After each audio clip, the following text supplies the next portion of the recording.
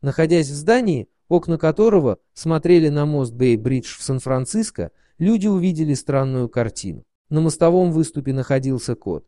Мурлыка, на котором был поводок и нагрудный ошейник, по всей видимости, застрял и теперь смотрел вниз с более чем 75-метровой высоты. Конечно же, неравнодушные люди поняли, что кота нужно спасать, а потому они обратились к специалистам, которые занимаются подобными вопросами. Представители службы контроля над животными пообещали сделать все возможное, чтобы помочь бедному животному. Когда спасатели взглянули на кота, они очень удивились тому, что он совершенно не испуган.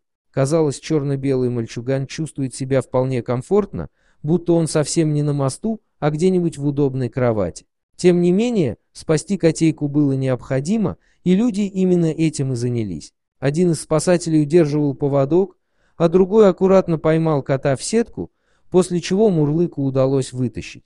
После того, как его забрали в приют, волонтеры стали искать хозяина Мурлыки. К сожалению, пока что найти его не удалось, несмотря на то, что многие люди сообщали о том, что кот, возможно, принадлежит им. Каждый раз выяснялось, что это совсем другой котик, и человек, который искал пропавшего питомца, не имеет к нему никакого отношения. Волонтеры приюта говорят, что до сих пор не имеют представления о том, как Мурлыка оказался на мостовом выступе и были ли у него хозяева. Известно лишь то, что сейчас он находится в надежном месте и окружен вниманием. Котейка оказался очень веселым, игривым и легко заводит новых друзей.